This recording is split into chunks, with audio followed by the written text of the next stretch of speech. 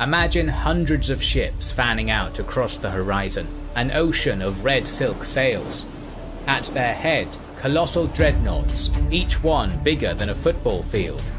This was the Great Fleet of the Ming Dynasty, a massive floating city commanded by Zheng He. This treasure fleet brought incalculable wealth to foreign lands, yet also showed China's might, conquering pirates and creating kings. Welcome to our video on the voyages of Zheng He, a 30-year period when China dominated the seas. Zhu Di took on the imperial moniker of Yongle, a title meaning eternal joy. The Yongle Emperor proved to be among the most ambitious monarchs in Chinese history, sending soldiers south to annex Annam, while personally leading armies north to fight the Mongols, who remained a threat to his domain. All the while, he facilitated the building of a new grand capital, the city of Beijing. The emperor wished to see his domain expanded throughout the oceans, to have all nations across the four cardinal directions come under his economic influence and acknowledge China's greatness. In this endeavor, he appointed one of his most trusted confidants, the eunuch known as Zheng He. Zheng He was born in 1371 in the province of Yunnan, which sits in the shadow of the Himalayas. His birth name was Ma He, and he was the son of a minor official in the Mongol Empire, whose ancestors were likely of Persian origin. His family was Muslim, and he lived his entire life as a devotee of that faith. At 10 years old, Ma He saw a Ming army march into his home province to seize it from the Mongol remnant. His father was killed in the ensuing fighting, and he was taken captive as in the battles that put his master on the throne, and thus became one of the most trusted confidants of the new emperor, who bestowed upon him his new name, Zheng, which was the name of his favourite warhorse.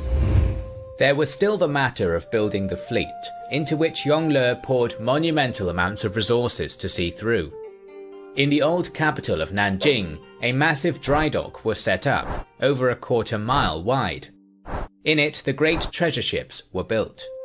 These were gargantuan nine-mast vessels over 450 feet in length and 200 feet in width, five times bigger than the ships of Christopher Columbus.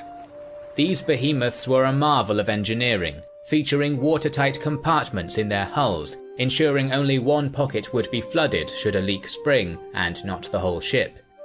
They were aptly named, for they carried a priceless cargo of silks, porcelain, gold, silver and other treasures that would be gifted to foreign rulers who paid tribute to the Ming.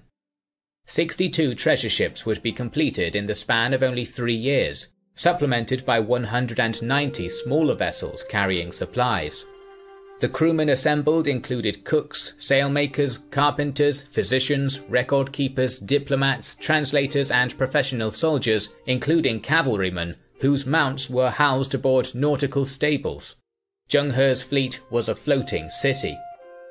In the summer of 1405, the first voyage began. At Nanjing, the crew performed offerings and prayers to Mazu, the Chinese patron goddess of sailors.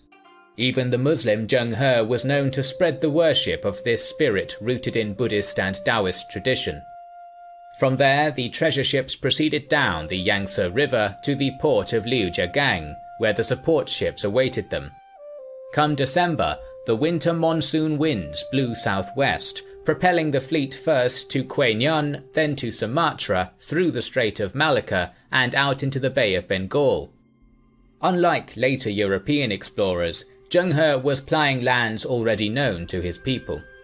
Even so, he used various means of reliable navigation. Magnetic compasses determined his whereabouts, and slow-burning incense sticks measured distance and time. The fleet navigators had access to detailed sea charts, and were able to read the altitude of key stars while sailing along certain latitudes. The fleet rounded Ceylon and arrived in Calicut to great fanfare. Situated on India's west coast, the city was a thriving trade port, but its inhabitants had never seen anything like the treasure fleet before.